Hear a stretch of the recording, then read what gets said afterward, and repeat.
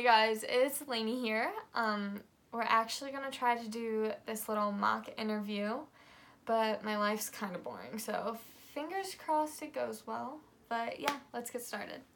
So, as you guys know, my name's Laney and I'm 17 years old. I live in Maryland and I've been twirling for 15 years. Um, I got my start in twirling actually from my mom. My mom and my grandmother both twirled batons, so I'm a generational baton twirler, and I guess it's just kind of in my blood.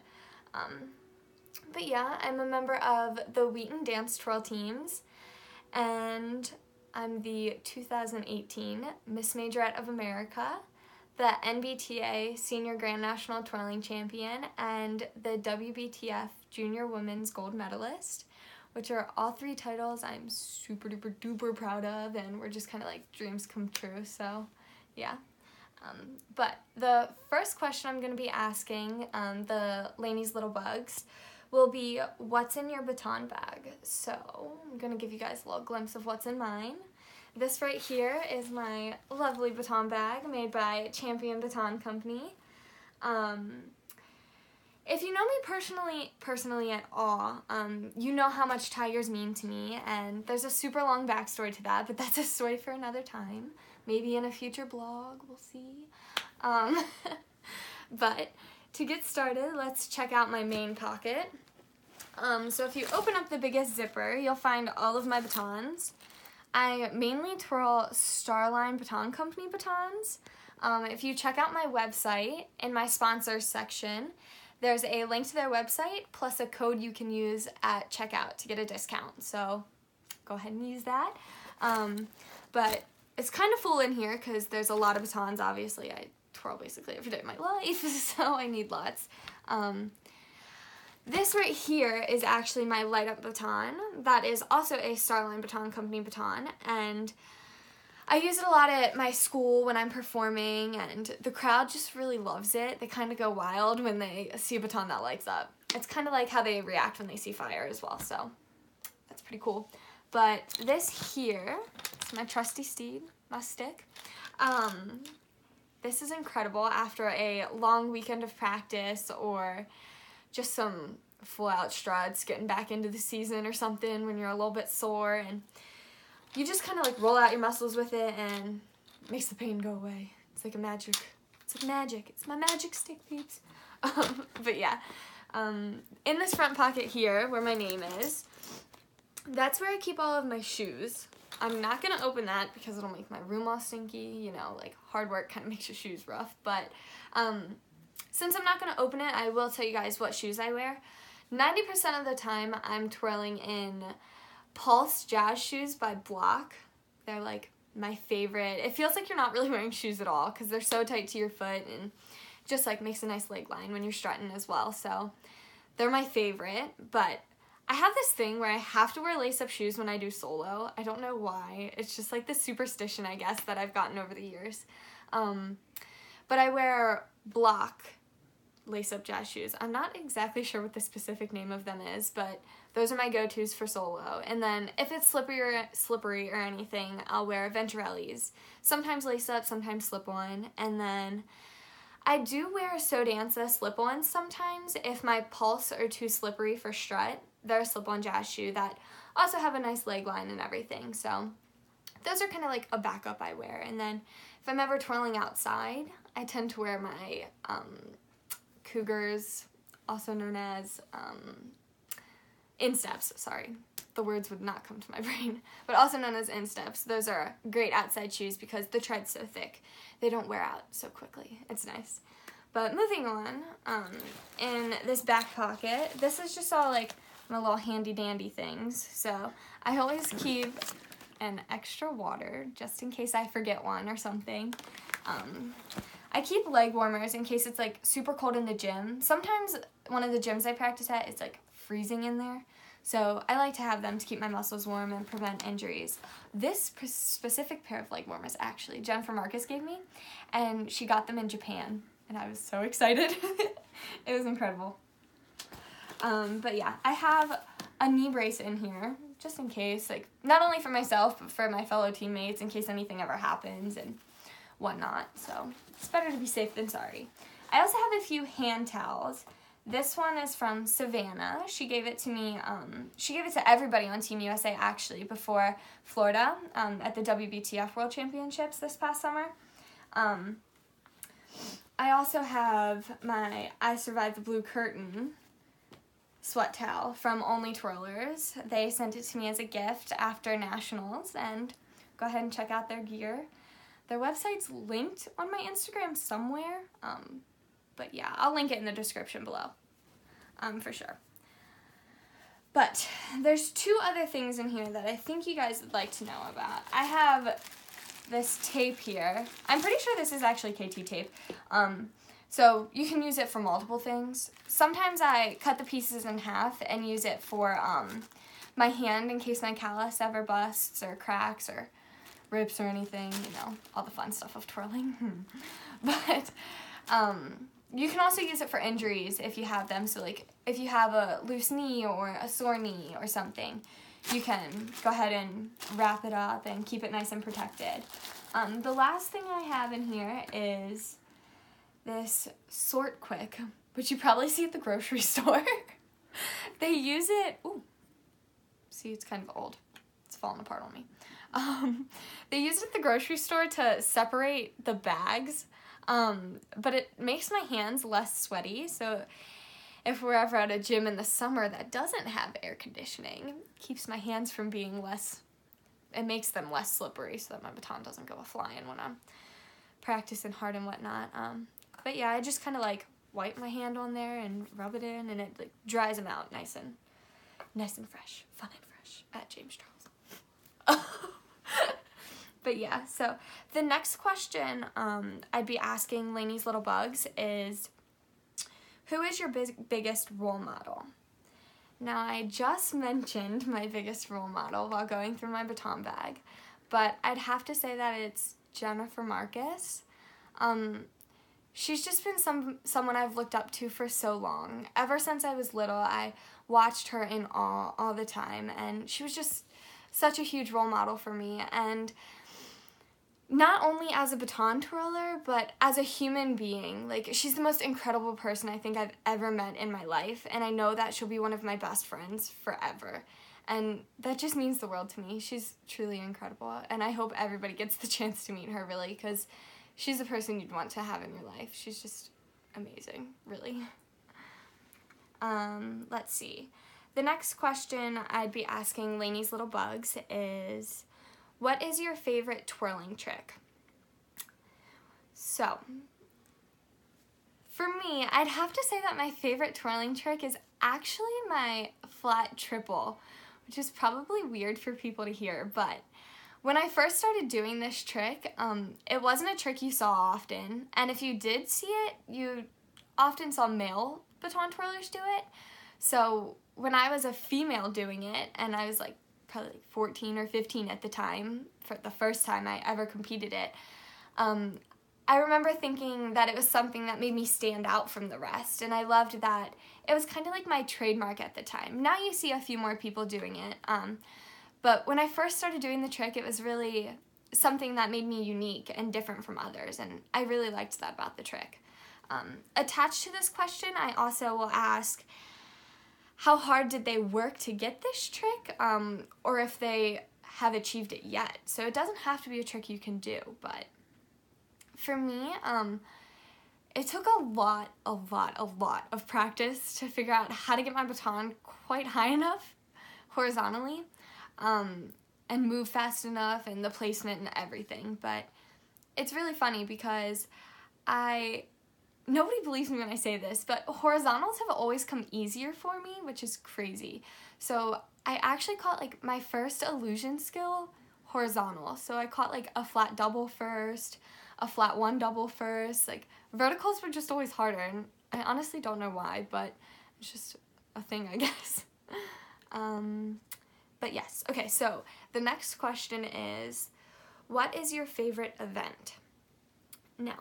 I'm sure all of you are expecting strut to be my answer, but that's actually not the case. Don't get me wrong, I absolutely love strut. It's a close second in my favorite event. Actually, I love it. Um, but I do have to say that freestyle and rhythmic twirl hold a special place in my heart. Um, I started dancing the exact same time I started twirling batons, so I've been dancing since I was two years old, and in dance, the whole thing is about storytelling and conveying the emotion and telling what the whole song is about through your movement. And I love that in rhythmic twirl and freestyle, I get to use those skills that I've learned in dance my whole life. Um, and I can really implement them into my baton twirling and convey the message and make the audience feel the emotions that the song is trying to get across through my movement. And that's just something that's really special to me. And I just, I don't know, it's my favorite just because I get to incorporate everything, everything I've ever learned and everything. And I just, I get to make you guys feel something really. I mean, I guess you can do that in solo too, but you know, it's, it's harder. You don't have like your own music. Um, so the next question is What is your best twirling memory? Okay, so before this summer, that was filled with the best moments of my life. Um, my favorite, my best twirling memory would have to be when I won 0 to 6 beginner pageant at nationals. It was my first time ever competing at NBTA Nationals um, as I started twirling USTA. Um, and I was seven years old, twirling six, and I remember standing there and them announcing me as the winner, and I truly didn't believe it. Like, I had no idea what was happening. I was in shock, I was crying, and I was seven years old. And that was just such a moment in my life where I was like,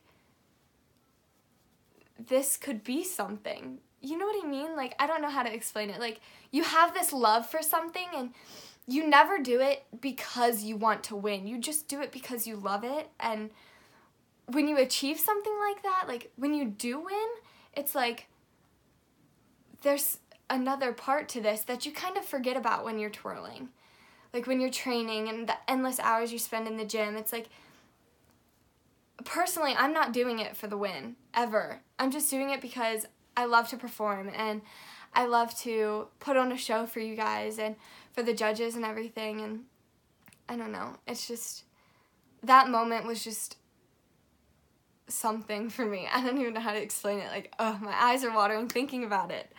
I don't know. It was just really, really special. Um, okay, so the next question is what other activities besides baton do you like to do?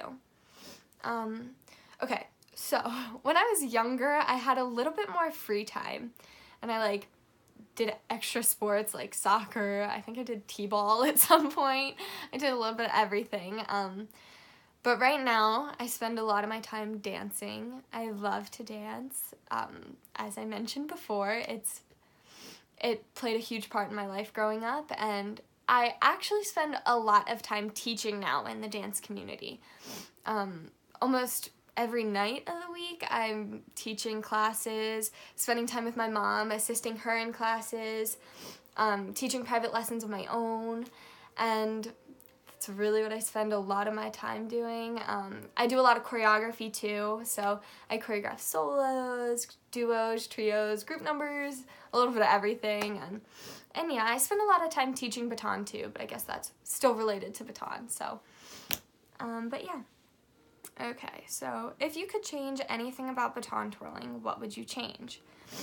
Well, this is a really hard question for me because I really love twirling, so it's hard to find something that I'd want to change. But if I do have to find something, I'd have to say that I'd want to change the barriers. I feel like for the world to fall in love with the sport of baton twirling the way I have, I feel like we have to come together as one big family.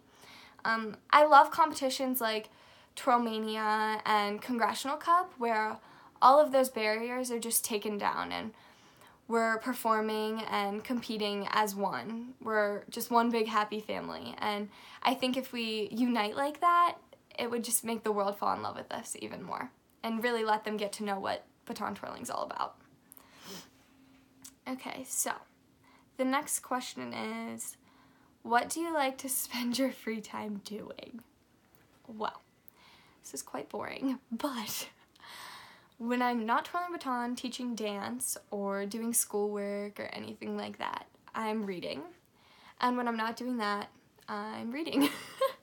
so, I'm a huge avid reader. I read every day of my life. I constantly have a book with me, and they've just always played a huge role in my life. I've always felt that, like, you can learn so much from reading, and you just can grow so much through a book, and you learn that there's, like, I don't know how to explain it, but I don't know. Books just mean so much to me, really. I don't know. I'm in the car a lot too. Okay, so I think that's what really started my love for books.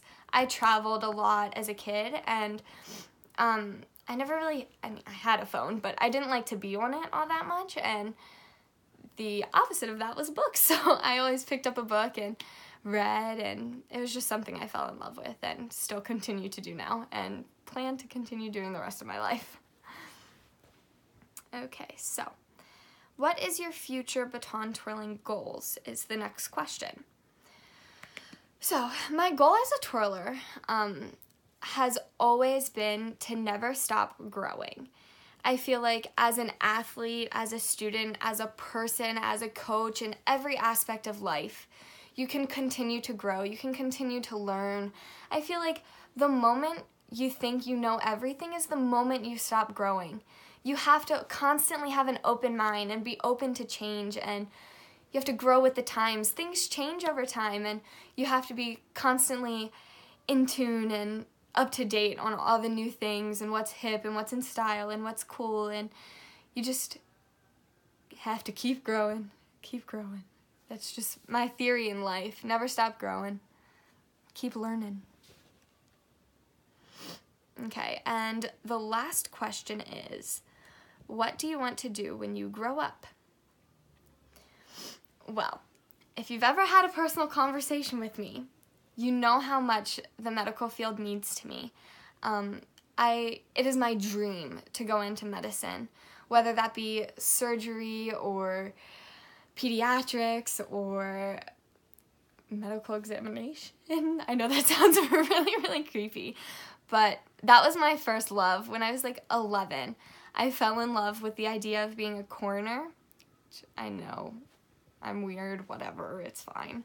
Um, but it's still my love. It's probably what I'll end up doing. It's incredible to me, but I feel like I can't really narrow down my decision making in the medical field until I dip my toes in the water. So, as I'm furthering my education, I'm currently in college and a I'm a pre-med student. So, I'm dabbling in all the fields and learning a little bit about what everything's like. So hopefully I'll be able to narrow down my decision making soon, but I definitely see myself in the medical field in the future. So yeah, but that covers all of the questions that I'll be asking Laney's Little Bugs.